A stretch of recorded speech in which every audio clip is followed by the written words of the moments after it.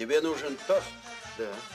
А тост без вина это все равно, что брачная ночь без невесты. Михаил Андреевич Глузский родился в Киеве в 1918 году.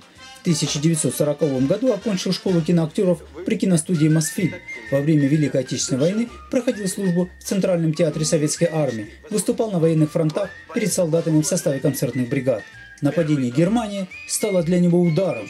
Когда я услышал, что началась война, просто сел на пол, вспоминал он позже. От шока, впрочем, он отошел быстро. Почти сразу у него созрела идея отправиться на передовую. Однако военные начальники решили, что актер будет полезнее для поднятия духа бойцов.